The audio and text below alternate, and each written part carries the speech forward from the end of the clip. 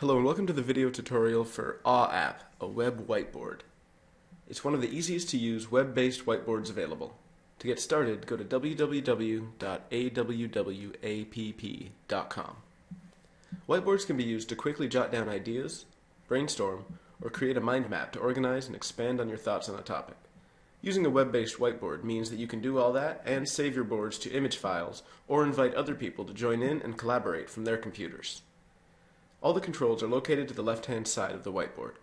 You can change colors with the color tool, or use the pencil tool to switch between three different marker thicknesses, a text cursor, or the eraser tool.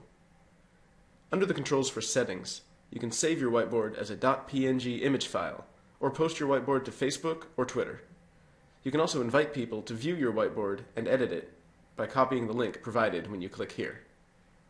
A web whiteboard makes it easy for users to organize and visually map out concepts and can be a useful educational tool both in and outside of the classroom. Go to www.awwapp.com to start drawing today. Thanks for watching.